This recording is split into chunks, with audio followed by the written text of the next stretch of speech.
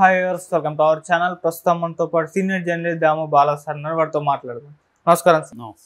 Sir మార్గదర్శిపై ఉన్న కేసులన్నింటినీ కూడా వాపస్ తీసుకుంటున్నట్టుగా వార్తలు అయితే వినిపిస్తున్నాయి సార్ సిఐడి వాళ్ళు. అంటే అంతకుముందు జగన్ గారు ప్రభుత్వం ఉన్నప్పుడు మార్గదర్శిని వేధించారు అని కేసులు నమోదు కూడా చేశారు కదా ఆ సంస్థ పైన. ఇప్పుడు వాటన్నిటిని కూడా చంద్రబాబు నాయుడు గారు వెనక్కి తెప్పిస్తున్నారని వార్తలు అయితే వినిపిస్తున్నాయి సార్. మీరేం చెప్తారు సార్ దీనిపైన?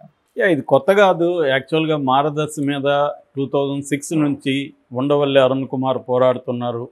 అప్పుడు మన రాజశేఖర రెడ్డికి ఏనాడు గ్రూపుకి మధ్య వచ్చిన గొడవలో నుంచి రాజశేఖర రెడ్డి మార్గదర్శి మీద ఏమి ఇబ్బందులు ఉన్నాయి చూడమని అన్నప్పుడు దాంట్లో ఉండే ఒక లూప్ హోల్ని ఉండవల్లి బ్యాచ్ పసిగట్టింది. ఆ లూప్ హోల్ ఏంటంటే మార్గదర్శి ఫైనాన్సర్స్ అనే సంస్థ ఏర్పడింది హెచ్ఈఎఫ్గా ఏర్పడింది. హిందూ హిందూ అన్డివైడెడ్ ఫ్యామిలీ కం కంపెనీగా ఏర్పడింది అది.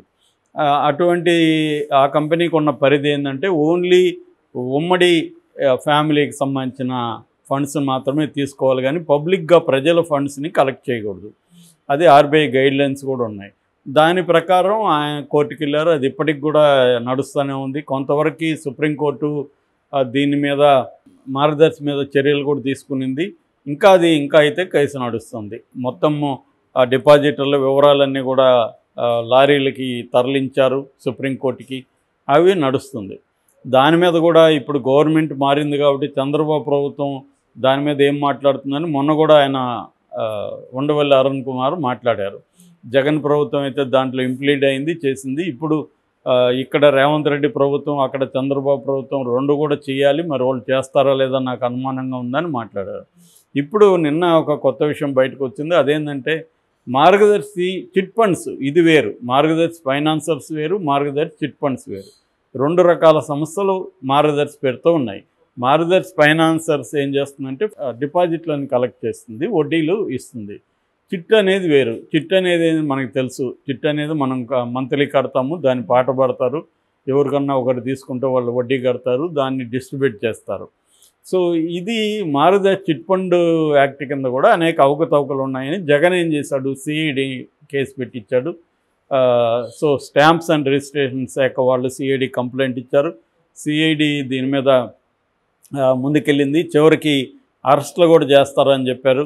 కానీ తీవ్రంగానే కేసులు పెట్టారు. విచారణ పేరుతో ఫస్ట్ టైము ఆయన రామోజీరావు ఇంటికి పోలీసులు వెళ్ళడం ఆయన్ని విచారించడం ఆయన పడుకొని ఆరోగ్యం బాగాలేదు నాకు ఎనభై ఆరేళ్ళు నా జీవితంలో నా దగ్గరికి పోలీసులు ఎప్పుడు రాలేదు ఇది కాలమహిమ జగన్ మహిమ తెలియదని ఒక వీడియో కూడా వైరల్ అయింది. ఏదేమైనా అప్పట్లో అనేక ఆర్గ్యుమెంట్లు కూడా వచ్చాయి. ఈవెన్ ఉండవల్ల అరుణ్ కుమార్ లాంటి వాళ్ళు కూడా ఖచ్చితంగా చిట్ ఫండ్స్లో కూడా అనేక అవతకులు ఉన్నాయి ఇదే తప్పులు వేరే చిట్ ఫండ్స్ చేస్తే వాళ్ళని అరెస్ట్ చేసి జైళ్ళల్లో పెట్టారు. రామోజీరావు తప్పు చేస్తే ఆయన ఎందుకు పనిష్ చేయట్లేదు అనేది ఆయన కూడా మాట్లాడింది. చిట్ ఫండ్స్ కూడా ఏంటంటే ఎక్కడికక్కడ ఆ బ్యాంకుల్లో ఆ బ్రాంచుల్లోనే ఆ డబ్బులు పెట్టాలి. ఇక్కడ కేంద్రం పేరుతో ఇక్కడ పెట్టకూడదు. ఇట్లా రకరకాల అవకతవకలు జరిగినాయని చెప్పారు. సో దాని మీద కోర్టులో జరగాలి. కోర్టు నిజంగా మార్గదర్శి చిట్ ఫండ్స్ తప్పు చేయలేదని నిరూపిస్తే మంచిదే. కానీ ఇప్పుడు చంద్రబాబు చేసింది ఒక షాకింగ్ విషయం అని చెప్పాలి. చంద్రబాబు రాగానే సిఐడి ఈ కేసులను ఉపసంహరించుకున్నట్టు నిన్న పిటిషన్ వేసింది. ఇంతకుముందు ఏంటంటే డిపాజిటర్ల పేరుతో ప్రత్యేక కోర్టులు రిటర్న్ చేస్తూ ఉత్తర్వుల్ని సవాల్ చేసింది సిఐడి దాన్ని కూడా ఇప్పుడు విత్డ్రా చేసుకున్నట్టు నిన్న జస్టిస్ వెంకట జ్యోతిర్మయి ప్రతాప్ దగ్గర వాళ్ళు పిటిషన్ వేశారు. అంటే ఒక ప్రభుత్వం వస్తేమో ఒక కంపెనీ మీద తప్పులున్నా లేకపోయినా విత్డ్రా చేసుకుంటుంది. ఇంకో ప్రభుత్వం వస్తేమో తప్పులున్నా లేకపోయినా ఒక కంపెనీ మీద కేసులు పెడుతుంది. ఇప్పుడు కేసులు ఇప్పుడు జగన్ మీద తప్పులుపులని వీళ్ళు పెడుతున్నారు. అక్రమాస్తులను జగన్ మీద పెట్టారు. మరి జగన్ మీద జగన్ ప్ర మోడీ ప్రభుత్వం కూడా విత్డ్రా చేసుకోవాలి కేసుల్ని? ఎందుకంటే మోడీకి ఉన్న లక్ష్యం ఏంటి? జగన్ మీద కేసులు ఉండాలి. అది ముందుకు పోకుండా వెనక్కి పోకుండా చూసుకోవాలి. అందువల్ల జగన్ తమ కంట్రోల్లో ఉంటారు. ఇందువల్ల ఏమవుతుందంటే లీగల్ ప్రక్రియ మీద న్యాయ వ్యవస్థల మీద ప్రజలకి ఆల్రెడీ నమ్మకాలు లేవు. ఇట్లాంటివి ఇప్పుడు చంద్రబాబు చేసిన చర్య వల్ల ఉన్న నమ్మకం కూడా పోతుంది. నిజంగా రామోజీరావు తప్పు చేయకపోతే కోర్టులో ఎందుకు దాన్ని తేల్చుకోలేదు? కోర్టులో తేల్చుకోవచ్చు కదా ఎందుకు మరి సిఐడి ఇప్పుడు విత్డ్రా చేసుకుందన్న ప్రశ్న చంద్రబాబుకి రేపు ఎదురవుతుంది. చంద్రబాబు తన గురుదక్షిణలాగా అది చేసా చేసి ఉండొచ్చు కానీ ఇది బ్రాడర్ సెన్స్లో చూసినప్పుడు ఖచ్చితంగా ఇబ్బందికరం. ఇప్పుడు జగన్ కోర్టుల్లో కేసులు ఉన్నాయి మరి అతను కూడా నేను కూడా తప్పు చేయలేదని అంటున్నాడు. తప్పు చేశాడు లేదనేది కోర్టులు నిర్ణయిస్తాయి. కానీ ఒక ప్రభుత్వం వచ్చి జగన్ మీద కేసులన్నీ విత్డ్రా చేసుకుంటే ఎలా ఉంటుంది? సేమ్ ఇది అన్ని చంద్రబాబు ప్రభుత్వం ఒకటే చేయలేదు. అన్ని ప్రభుత్వాలు ఇదే చేస్తున్నాయి. గతంలో జగన్ మీద పెట్టిన కేసులు జగన్ వచ్చినాక దాన్ని విత్డ్రా చేయించుకున్నాడు. అట్లాగే బీజేపీ ఎవరైనా బీజేపీలోకి వస్తే వాళ్ళ మీద కేసులు ఉంటే క్లోజర్ పిటిషన్లు వేసేస్తున్నారు అక్కడ కూడా. అలాగే చాలా మంది మీద బీజేపీ ప్రభుత్వంలో ప్రత్యర్థుల మీద ఉన్న కేసులు పెట్టాం. మనకు తెలిసే ఇక్కడ సీఎం రమేష్ కావచ్చు సుజనా చౌదరి మీద కేసులు ఏమైనాయి? బీజేపీలోకి వెళ్ళినాక ఏమీ కాలేదు. సో అంటే బీజేపీలోకి వెళితేమో వాషింగ్ మిషన్లోకి వెళ్ళినట్టుగా క్లీన్ అయిపోతారు. వెళ్ళకపోతేమో వాళ్ళ సీఎంలైనా కూడా వాళ్ళని జైలుకి పంపిస్తారు. కేజ్రీవాల్ సీఎం జైలుకి పంపించారు. ఆయన హేమంత్ సొరేన్ సీఎం ఆయన జైలుకి పంపించారు. కానీ మన సుజనా చౌదరి సీఎం రమేష్ వాళ్ళ మీద ఎన్ని కేసులు ఉన్నా అవి ముందుకెళ్ళవు. సిబిఐ కేసులు ఉన్నాయి ఆయన రఘురామకృష్ణరాజు మీద సిబిఐ ఉంది. అవి ముందుకెళ్ళవు. జగన్ మీద పదకొండేళ్ళుగా ఈడీ కేసులు ఉన్నాయి అవి ముందుకెళ్ళవు. అంటే క్లియర్గా మోడీకి అనుకూలంగా ఉన్న వాళ్ళ మీద కేసులు ఉండవు. ఒకవేళ ఉన్నా అనుకూలంగా మారినాక ఆ కేసులు క్లోజ్ అయిపోతాయి. వ్యతిరేకంగా ఉన్న తమకు ఇబ్బందిగా అనుకున్న వాళ్ళ మీద మాత్రం కేసులు ఉంటాయి. ఇది మోడీ ప్రభుత్వం చేస్తుంది. చంద్రబాబు ప్రభుత్వం కూడా అదే. చంద్రబాబు ప్రభుత్వం ఇప్పుడు వైసీపీ వాళ్ళ మీద అనేక కేసులు పెట్టుకుంటూ వెళ్తుంది. కానీ వైసీపీ పెట్టిన కేసులను మాత్రం తమకు అనుకూలమైన మీడియా సంస్థల అధిపతి రామోజీరావుకు సంబంధించిన మార్గదర్శి చిట్ ఫండ్ మీద కేసు మాత్రం సిఈడి విత్డ్రా చేసుకుంటుంది. సో దీన్ని బట్టి క్లియర్గా మనకి ఏమర్థమవుతుంది? ఈ ఇన్వెస్టిగేటివ్ ఏజెన్సీలన్నీ కూడా గవర్నమెంట్ ఆ పార్టీ గవర్నమెంట్స్ ఏం చెప్తే అవి వింటుంటాయి తప్ప ఇందులో న్యాయం అన్యాయము లీగల్ వ్యవస్థ దాని అదేదో అంటారంటారు వీళ్ళు ఒక జోక్ వేస్తుంటారు అప్పుడప్పుడు. న్యాయ చట్టం తన పని తను చేసి చట్టం అని తన పని ఎప్పుడూ తను చేయదు.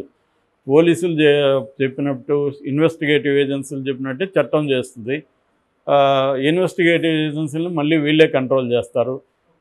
జగన్ ఉంటేమో అదే సిఐడి ఒక రకంగా బిహేవ్ చేస్తుంది. జగన్ లేకపోతే మళ్ళీ ఇదే సిఐడి ఇంకొక రకంగా బిహేవ్ చేస్తుంది.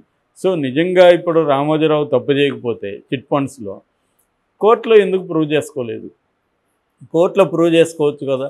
అది లేకుండా సేమ్ ఇదే దాన్ని మార్గదర్శి ఫైనాన్సర్స్ మీద కూడా చివరి రోజు ఉమ్మడి ఆంధ్రప్రదేశ్ హైకోర్టు చివరి రోజు కేసు కొట్టి కొట్టేశారు. అప్పుడు ఎవరో ఉండవల్లికి కూడా చెప్పలేదు కేసు కొట్టేసినట్టు. ఉండవల్లికి ఎవరో ఫ్లైట్లో లాయర్ కనబడి ఇలాగా కేసు కొట్టేశారు తెలుసా అంటే అప్పుడు ఆయన షాక్ అయ్యి మళ్ళీ సుప్రీంకోర్టుకి వెళ్ళాడు. ఆయన వెళ్ళిన ఒక one one and half year తర్వాత జగన్ ప్రభుత్వం దాన్ని ఇంప్లీడ్ అయింది సుప్రీంకోర్టులో. అందుకని మార్గదర్శి కేసు అక్కడ ఉంది. మరి ఇప్పుడు ఇలాగయ్యారు దీని మీద ఎవరన్నా పిల్లేస్తారేమో చూడాలి. ఎందుకంటే వైసీపీ వాళ్ళు సైలెంట్గా ఉండకపోవచ్చు. ఈ సిఐడి ఇలా విత్డ్రా చేసుకోవడం కరెక్టా అని వాళ్ళు రేపొద్దున ఏ సుప్రీంకోర్టులో ఏమైనా పిల్లేస్తారా లేకపోతే హైకోర్టులో పిల్లేస్తారా అనేది చూడాలి. ఎందుకంటే ప్రభుత్వం మారగానే మార్గదర్శి మిస్టర్ క్లీన్ ఎలా అయిపోయింది దాని మీద వచ్చిన ఇవి వాళ్ళు ఎందుకు కోర్టులో ప్రూవ్ చేసుకోలేదు? వాళ్ళు ఇతరులని గురించి రోజు పేజీలు పేజీలు రాసేవాళ్ళు. వాళ్ళు ప్రూవ్ చేసుకుంటామని చెప్పాలి కదా. మీరు విత్డ్రా చేసుకోకండి.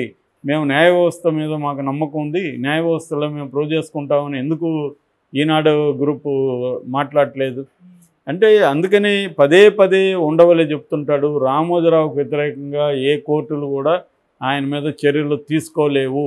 ఆయన అంత పవర్ఫుల్ అని అనేకసార్లు చెప్తున్నారు. ఆయన చనిపోయినా ఆయన ఆత్మ కూడా పవర్ఫుల్ అని మొన్న ఎవరో కామెంట్ చేశారు. ఆయనలో చనిపోయాడని అనుకుంటున్నారేమో. ఆయన ఆత్మ కూడా ఆయన కంటే పవర్ఫుల్ అది వెంటాడుతూనే ఉంటుంది అని మొన్నెవరో ఫేస్బుక్లో పెట్టారు. సో ఆ రకంగా తీసుకున్నప్పుడు అది నిజమే అనిపిస్తుంది. చంద్రబాబు గురుదక్షిణగా ఆల్రెడీ ఆయన సంతాప సభకి పన్నెండు కోట్లు ఖర్చు పెట్టి సంతాప సభ చేశాడు. ఇప్పుడు ఈ కేసును కూడా విత్డ్రా చేసుకున్నాడు. Okay sir thank you so much